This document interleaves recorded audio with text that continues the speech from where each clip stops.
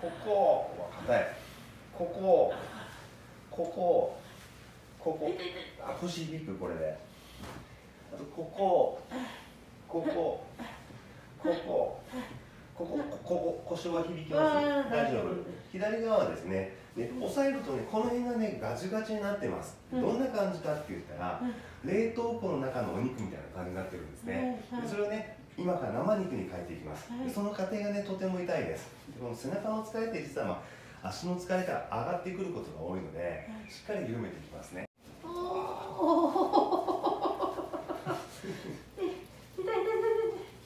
この疲れがこう上がっていって腰痛になる場所なんですね。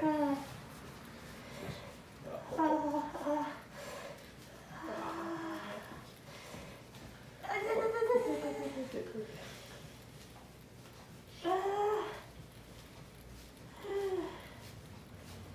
ですわ。痛い。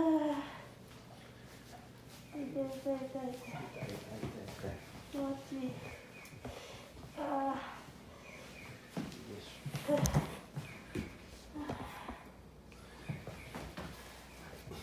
ここあはいはいあこれこれ。えー、あ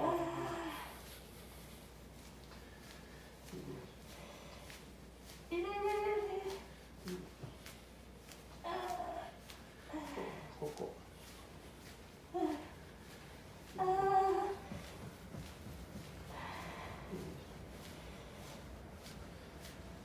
えー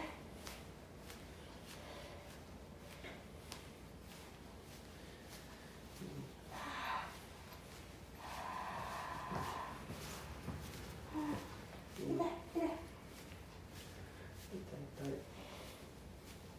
あー痛い痛い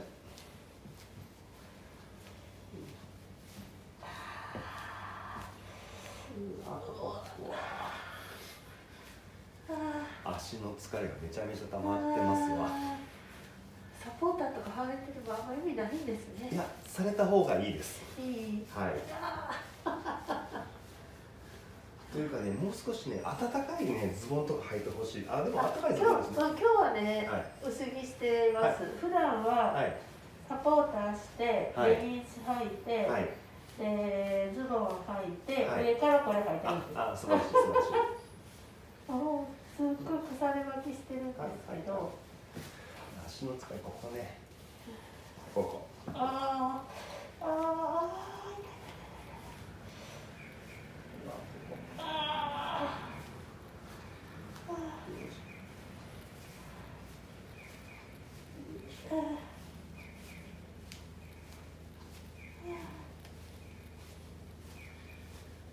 あーこれ去年まではあまり冷え性を感じてなかったんですけど、今年すごい足がやっぱり冷えて、今年なんか寒いですよね、うん、で夜もちょっと冷えて眠れないこと多いんですけど、はい。そういうのも影響してるのかなと思いながらかもしれない。あのまあ冷えからね腰痛が出てきますからね、うんはいここねよいしょあ痛い痛い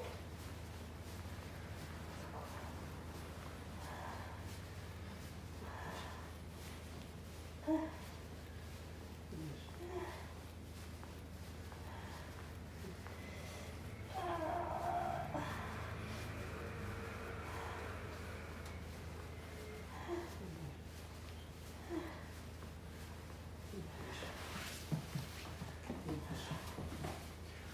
では反対側ね。右足だいぶ軽くなったでしょ、はいはい全然違いますね。あよかったよかった。うんうんはいここねはいあここー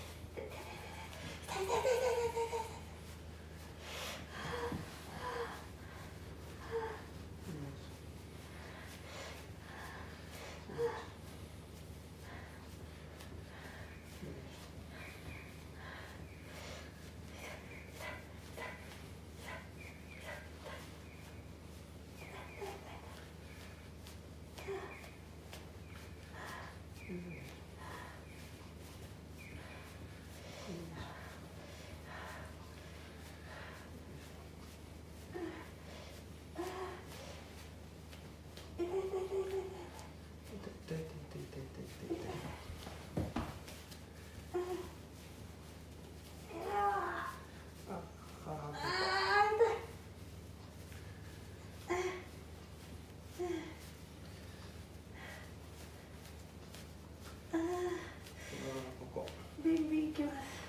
こますね。あうわこれ。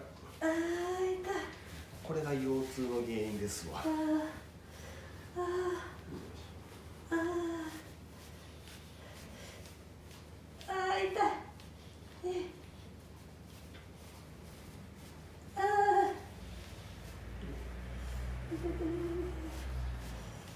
あー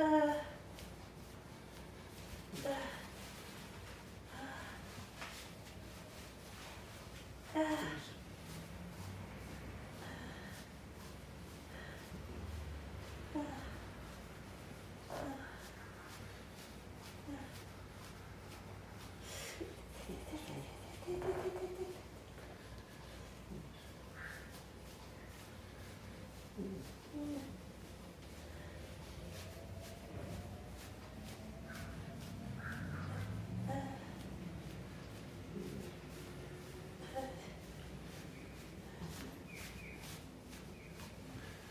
ではねこうしますよ。はい。ここはいはい。あえそらなかなか疲れが取れないはずですよ。あここガチガチです。ー。あー。そこってなんか、はい。マッサージとかしにくいですよね自分で。そうですね。自分でもなかなかしにくい場所ですね。マッサージ棒で押さえてもらったりとかね呼吸はたまにするんですけど。はいはいはい。あーあーあ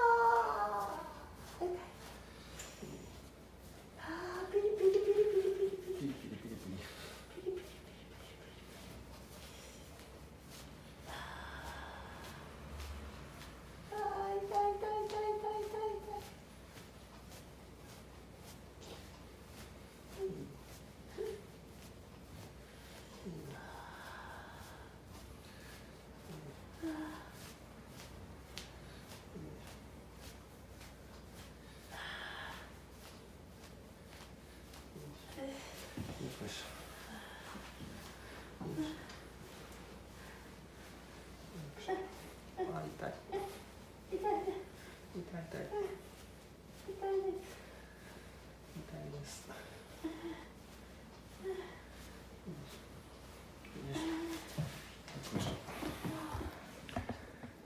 だいぶ楽でしょはい